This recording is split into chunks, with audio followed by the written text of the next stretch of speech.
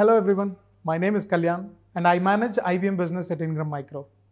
And I'm here to help business partners to increase the profitability. Let me introduce my team here. Hello everyone, my name is Veer. I help my business partners in growing their business by delivering the right technologies. Thank you.